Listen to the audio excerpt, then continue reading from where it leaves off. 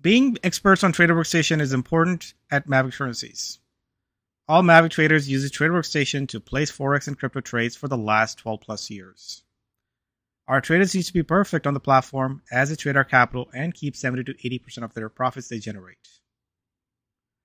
We are happy to release some of our Trader Workstation training to the public as TWS can be intimidating software. If you're ready to become a professional Forex and crypto trader, click on the application link in the description below.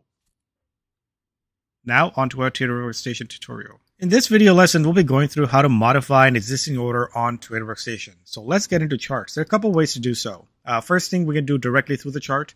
You'll notice that there is a pending order um, on this, and with the initial buy stop order with the profit taking, and we have our sell stop order. Let's say if I really want to change any of this aspect of an order, I can do it a couple ways. I can either move the lines here, and you notice that as soon as you get towards this line, there's an option to drag and hold. I can drag one of these areas to move the stop one way or the other.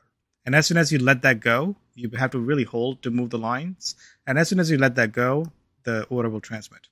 The other way to do so is uh, right at the bottom of the screen here, you notice that there's an order window.